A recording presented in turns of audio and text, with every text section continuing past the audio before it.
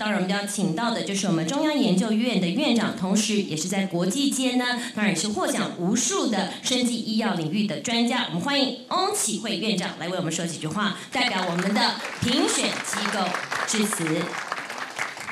啊，尹董事长，呃，各位唐奖基金会的董事，啊，各位贵宾，还有中外啊媒体记者朋友，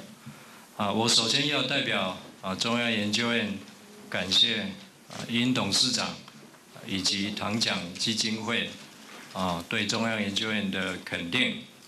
啊啊委托本院来办理这个唐奖的提名跟啊评选的这个工作啊，我想大家对这个呃殷董事长经营企业有情啊是非常的熟悉了啊，但是让我们更敬佩的是他对。推动这个社会公益的这个热忱，啊啊，比如说啊，推动这个糖奖，只不过是他很多很多社会公益的啊这个啊一项而已。那这四个领域啊，大家也知道，刚才啊殷董事长也介绍过，永续工程、汉学、生技医药以及法治这四个领域，其实对人类追求文化。啊，健康以及价值的提升，啊，甚至啊，对这个经济的发展，啊，那个环境的保护，以及社会公平正义兼顾的这个永续发展，都有非常非常密切的关系。所以推动这四个奖项，啊，其实从这个精神看来，啊，除了让社会以及学术界关注之外，啊，更会激发出这一方面的这个研究跟创新，啊，希望让这个人类社会会带来一个更美好的境界，啊，所以这个呃四个奖项，啊，因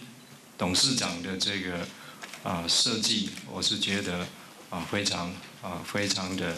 啊这个重要啊。那唐奖的规模，刚才啊殷董事长也提到，啊是。可以说是全世界资金最高的、奖金最高的，也是台湾第一个呃这个国际真正的国际奖项。所以本院一定会秉持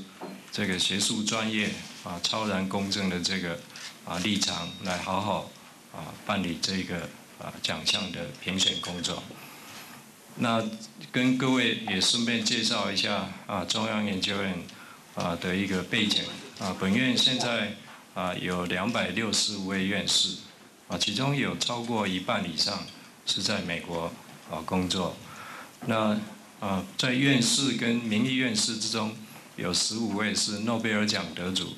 啊，比如说在座的啊李前院长就是诺贝尔奖化学奖得主，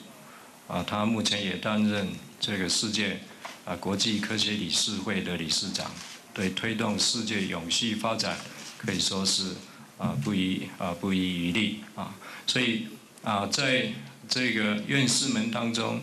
啊，也有八十几位啊是美国国家科学院以及相关科学院的院士。那我们的领域涵盖的也很广，啊，每一位院士都有非常杰出的这个啊成就以及崇高的学术地位。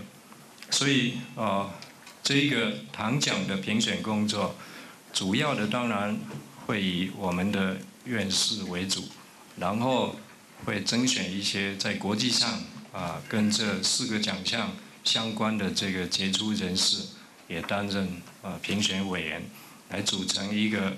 有国际化而有多元化的这个啊非常有专业的这个评选委员啊，所以每一个奖都有都会有一个啊评选委员来针对。啊，那个领域啊，好好的这个去评估每一个候选人的这个成就。那这个成就主要是看他的原创性啊，刚才殷董事长也谈过，以及他的呃贡献度啊。所以除了原创之外，还要能够对社会有真正啊具体的贡献啊。所以我们希望透过这个奖，能够实现啊殷董事长的这个期待，就是。发扬啊中华文化啊，也同时能够啊带动这个人类社会的这个和谐共存以及永续发展的这个啊主要的的目标。啊，所以最后还是要啊感谢啊殷董事长以及啊唐奖基金会的肯定，那我们会尽最大的力量来把这个奖项办得是一个非常有公信力的国际大奖，也谢谢各位的参与。啊，祝大家健康啊，平安。谢谢我们的院长。那。